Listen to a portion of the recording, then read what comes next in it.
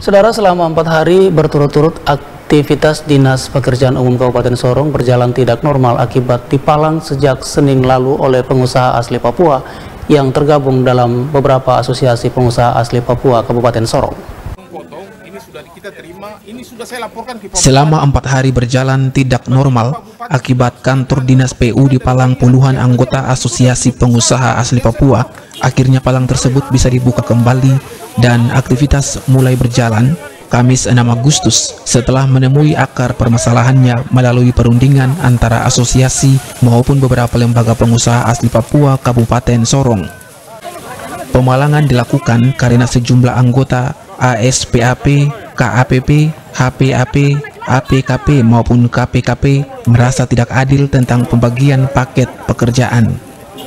Kepala Inspektorat Kabupaten Sorong Cliff Japsenang didampingi Kadis PU ketika memediasi persoalan tersebut dengan sejumlah anggota pengusaha asli Papua mengemukakan pekerjaan yang diberikan Dinas PU atau paket kepada pengusaha asli Papua harusnya jangan diserahkan lagi kepada orang lain karena pengoperan paket kepada orang lain terjadilah persoalan.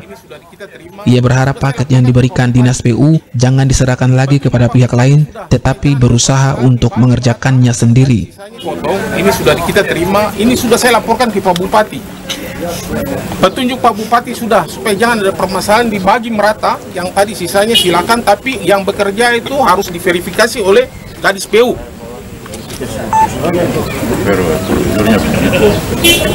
Ini ada teman-teman polisi, saya juga minta jaminan dari kalian yang kerja betul-betul yang punya perusahaan.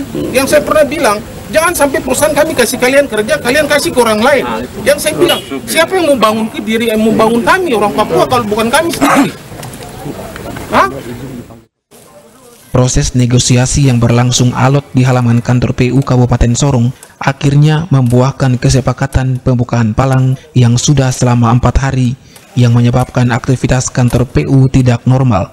Kami dari empat asosiasi eh, eh, tidak eh, sudah mendengarkan negosiasi dengan pemerintah daerah lewat eh, inspektorat kepada kami, maka hari ini palang dibuka dengan baik dan Ya, kami minta kepada pemerintah daerah sehingga ini menjadi satu perhatian serius bagi kami anak-anak asli pengusaha Papua sehingga ke depan tidak akan terjadi seperti ini.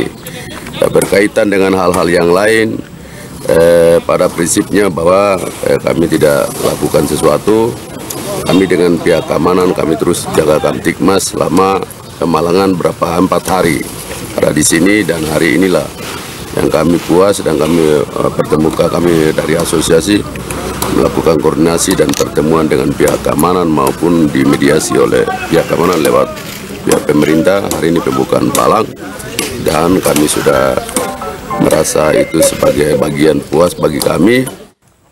Saat ini pelayanan di Dinas PU Kabupaten Sorong sudah berjalan normal pasca dibukanya palang tersebut. Semi Venjalang CWM Channel